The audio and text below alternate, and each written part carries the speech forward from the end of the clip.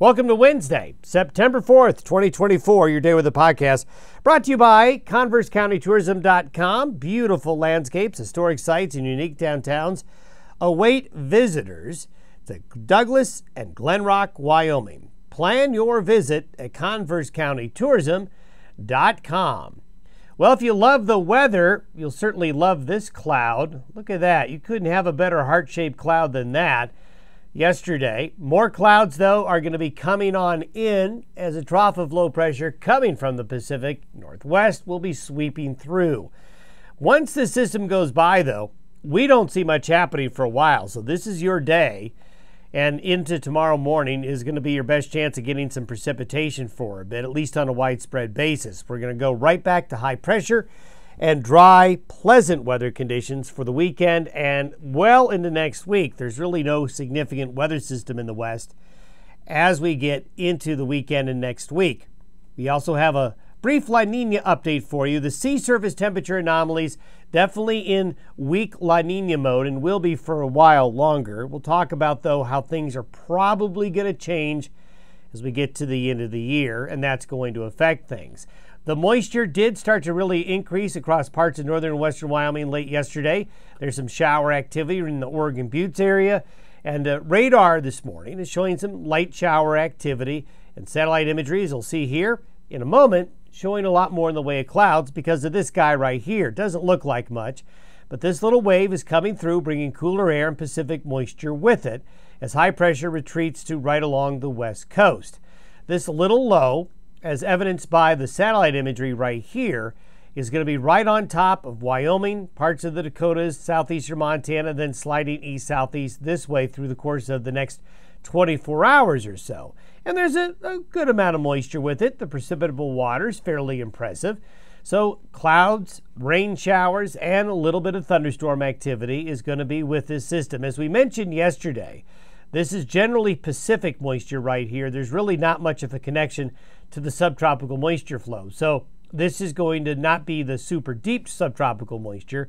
Pacific moisture, nonetheless, enough to produce a little bit of weather. Showers, and here is the thunderstorm forecast as we go through the afternoon and evening hours.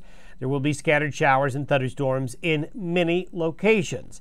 Then the system heads off to the southeast, but between today and tomorrow, this is where rainfall is going to be most likely. The gray, green, and blue areas show where the best chances will be that you might get some measurable rain. Hopefully, you'll be under one of those clouds that produce some needed rainfall. You can see that west of this low, there's just nothing. Very dry air resides here. Very dry air moving into Arizona, western New Mexico, as the subtropical moisture is going to be that way in the days ahead. Temperature wise, we'll cool off a bit. Temperatures will cool off along and east of the divide very warm under the high pressure along the west coast. And we're going to see this setup where the cooler weather is going to be on the other side of the U.S. and the warmest weather will be on the western side of the U.S. High pressure will build up again across the Great Basin along the west coast. We'll continue to have these little Pacific waves come in, but they're weak. So they'll go into the ridge, go up over around it, and then just feed into the deeper trough in the Great Lakes in the northeastern United States. So we end up with a temperature regime by this weekend like this well below average September temperatures across the eastern side of the nation. But you can just divide, just have a line here that just cuts North America in half, really, in terms of where the heat will be. So, relative to the 30 year averages, it'll be very cool here, very warm here. Quite the contrast. And we think this is something I think that is going to go for a bit probably seven to 10 days or so, where the cooler weather relative to average will be in the east, warmest in the west. This will also mean when you're warm like that, you're just not going to have much precipitation. This is all the way through next Thursday. So this is the 12th of September. We have lows trying to attempt to come off the Pacific. As we showed you yesterday, this northern Pacific jet stream is getting more active, but this high pressure ridge is robust and will kind of hold back these Pacific waves and weaken them a bit. So from this, basically, from this Friday through next Thursday or next Friday, this configuration of lows off the west coast, high pressure in the west, and trough in the east will hold firm, kind of a log jam. So we'll get into a pattern where there just really won't be much in the way of significant weather. And look at that. This is the five day forecast from Monday of next week to next Friday. So a little bit of activity in the form of some isolated showers and thunderstorms, mainly from these Pacific waves coming through. But look at this. It's like someone took a ruler and just drew a straight line from the subtropical moisture from the Gulf Coast and central and southern Mexico through the Gulf Coast, through the Florida Peninsula, and out. So there's going to be some tropical waves, maybe some tropical storm activity here, but we're looking at a lot of dry air overspreading the lower 48. So, boy, talk about a quiet week of weather, exception Gulf Coast region in Florida. The rest of the United States, a lot of Canada, that's a a very quiet weather pattern, not much happening. Now, eventually, the dam will break later in the month towards early October, and we'll start to see that North Pacific take more action in the west. But for an extended period of time, good seven to 10 days, the weather's going to be a real snoozer. This is all the way out to the 17th of September. So we're starting to see the weakening high ridge here. The lows starting to have more of a an impactful push into the Pacific Northwest. And eventually these fronts will, will kind of come in and break down this high pressure ridge, but it's going to be a bit before that happens. Let's talk about sea surface temperature anomalies because this is going to play into the long range winter forecast and the fall forecast. These are the current sea surface temperature anomalies where you see red or orange. Water temperatures are above the 30 year average. Blue and green means below average, white means right on the average. And a couple of things stick out. We still have a warm Atlantic basin, despite the fact that the hurricane activity just is not kicking into gear like it was expected to do. We have these warmer water temperatures here in the North Pacific. This will play a role later on. So will these warmer water temperatures here as we progress into fall and winter. Look at the cold up here, though. That's interesting. That's going to be something to watch. But here's your La Nina. This is not a robust La Nina at all. It's certainly weak, but it's there.